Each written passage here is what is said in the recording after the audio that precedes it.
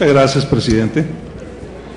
Como todos sabemos, México forma parte del grupo de naciones poseedoras de la mayor cantidad y, y diversidad de animales y plantas.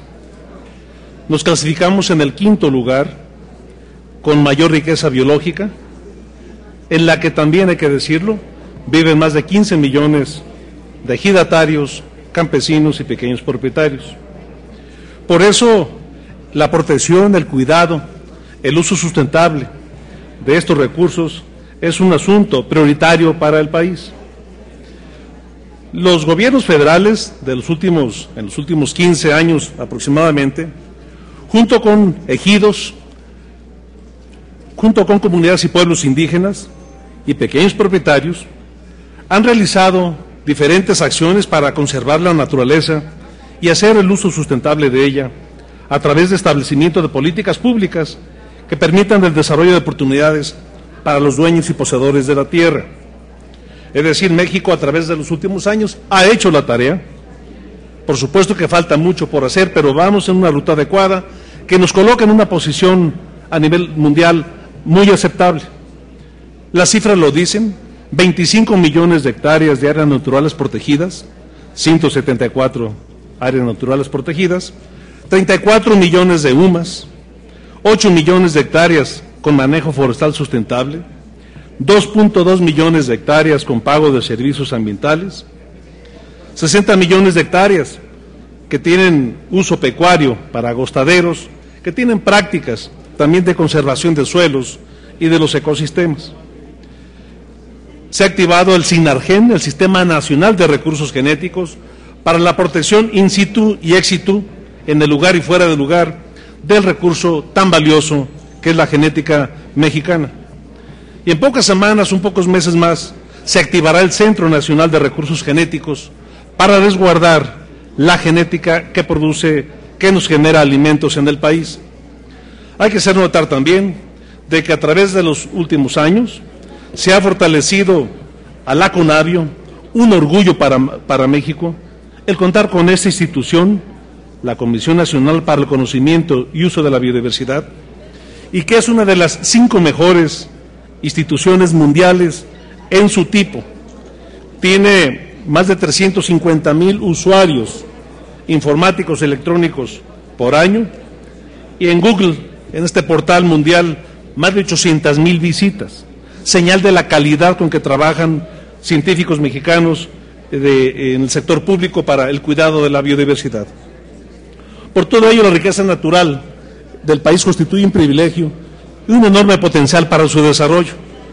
Muestra de ello, México ha firmado más de 100 acuerdos internacionales relacionados con el medio ambiente y el desarrollo sustentable que incorporan a todos los sectores de la población.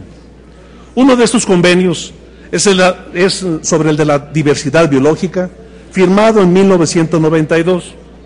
Actualmente el convenio es sin duda el principal instrumento internacional multilateral que opera en el marco de las Naciones Unidas para todos los asuntos relacionados con la diversidad biológica.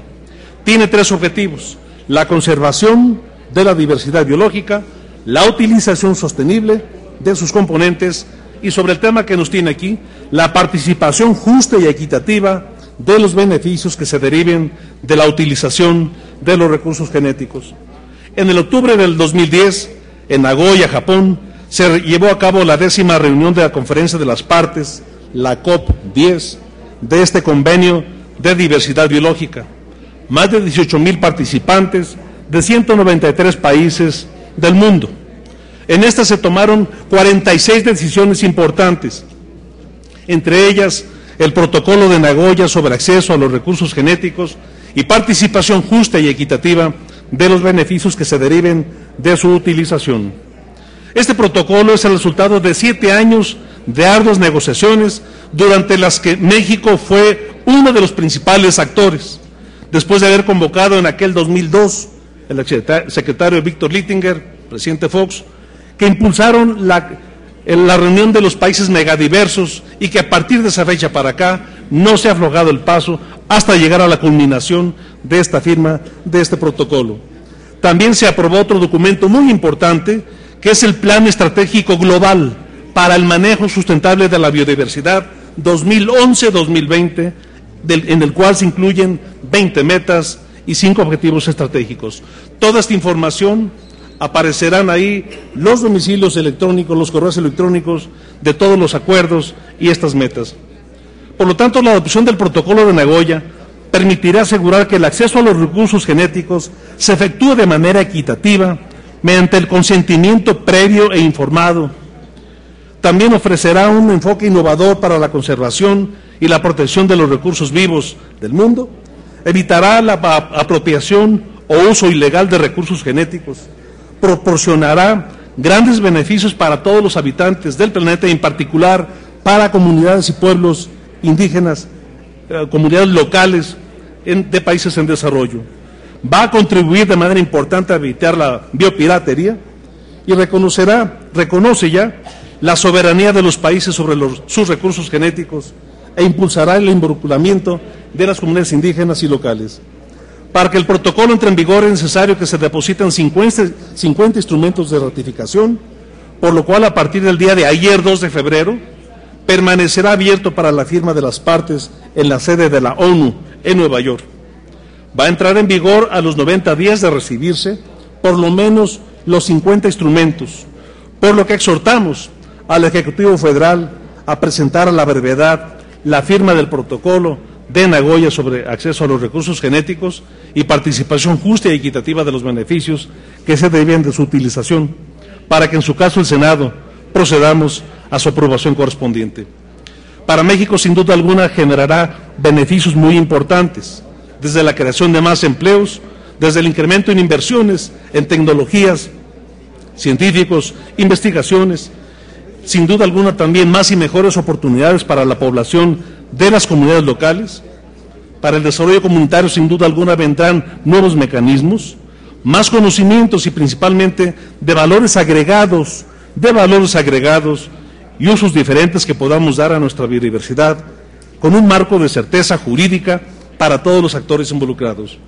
Por todo esto solicitamos se apruebe este punto de acuerdo para reconocer primero a las comunidades y pueblos indígenas, a los ejidos y pequeños propietarios que junto con el gobierno federal de los últimos años han logrado instrumentar mecanismos para conservar nuestra biodiversidad.